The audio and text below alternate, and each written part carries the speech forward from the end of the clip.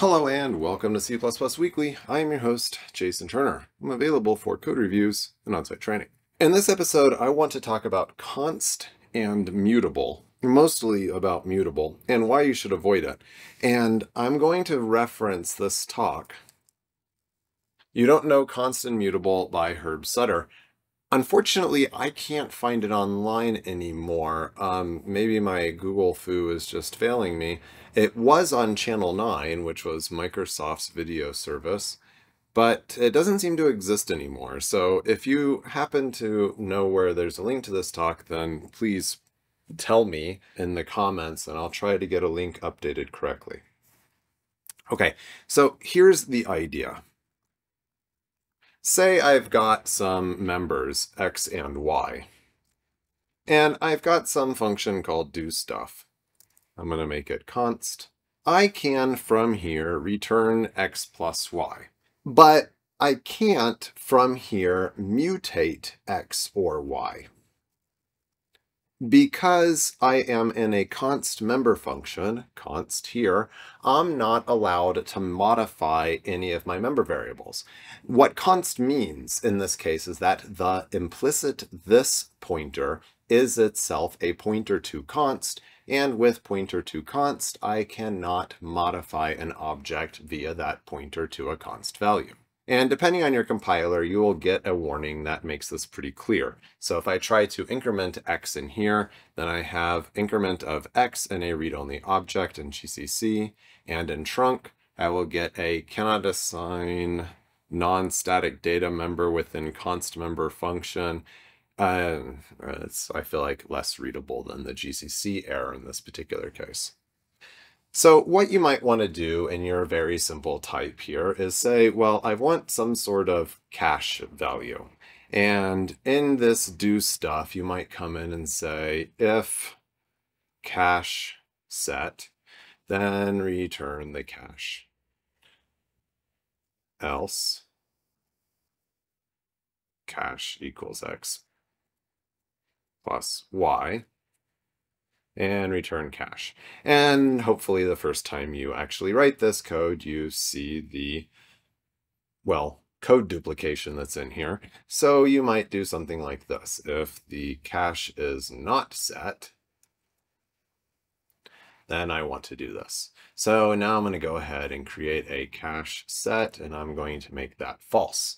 And it's fine, I guess, in this particular case to leave cache uninitialized, but I still get this compile time error that I'm not allowed to assign to the cache from a const function. So that's where mutable comes into play. A mutable value is allowed to be modified via this pointer to a const. So now this line, line 12, is allowed because I have declared the cache as mutable. Now, if you're paying attention, you probably see the bug here, and that's the fact that I haven't actually updated the cache set flag. So let's go ahead and set that equal to true. Let's remove this redundant code. So if I come through here, the cache is not yet computed. Then I compute the cache, I set the cache set flag, and regardless, I returned the cached value of this thing. Now I need to also make this mutable. Now, yes, I will go ahead and acknowledge that what I am talking about here does revolve all around integers, and these things are probably effectively atomic writes on your platform. But let's just say, for argument's sake, I've got something like a local struct s, and I have constructed it with the values 3 and 4 here. And, uh, you know, this is going to fail to compile because I don't have initializers for everything. All right. Now I'm going to create a couple of threads. And just for the fun of it, I'm going to use jthread. And in here, I am going to call the do stuff member with the object value down here. And if I did this correctly, this should launch a thread that executes the do stuff function on value. Now I'm not currently doing anything to actually capture this value or do anything intelligent with it. But let's go ahead and create multiple of these threads.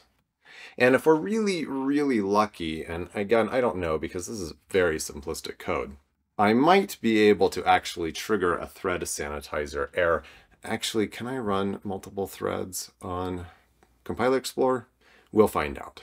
It looks like we can, and we are executing it, and we're probably not getting a thread sanitizer error. Okay.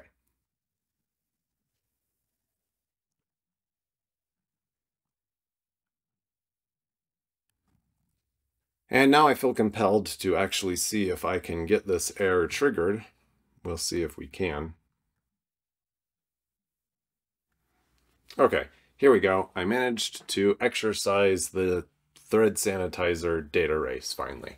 So all I did was call do stuff. Do stuff is itself const. Now this comes down to why you should avoid mutable because you might have multiple readers of your code and in fact you might have declared this thing const in the first place, and this is totally valid. And now I have a race condition in my code because I'm trying to manually manage this const using mutable inside of this thing. And now I have to put a mutex around every single time I want to call this if I want to do it safely. So what this comes down to is this clause from the standard that says a C++ standard library function shall not directly or indirectly modify objects accessible by threads other than the current thread unless the objects are accessed directly or indirectly via the function's non-const arguments, including this. Basically, this says I'm only allowed to modify objects if I'm accessed via my non-const functions. This is effectively disallowed in the C++ standard for this reason. If you want mutable in these things, then you have to put mutexes around them to make the const getters implicitly thread safe. It's just not worth the effort. And I'll say from my own practical experience of having actually done stuff like this in the past, by the time you do cache management and cache invalidation and deal with mutable and thread safety and all of the things, it becomes far, far more efficient to just somehow pre-compute the thing like this. Now, this is definitely a cheat mode because I know I'm just adding these two things together, but similar principles probably apply in your code where you are currently doing that. Now, this code is 100% completely safe because I know it's safe to write to cout from multiple threads, and I know that my cache is going to be set exactly once on object construction time, and therefore I can remove the mutable. So to sum up, Using mutable probably means that your types are not thread safe. And is that really what you wanted to do? So reconsider it if you have the opportunity and think, can I pre-compute these things ahead of time instead of using some tricky mutable stuff that is just going to be much harder to manage in the long run. So thank you for watching this episode of C++ Weekly. I hope you appreciated it. Be sure to subscribe, maybe come to one of my workshops.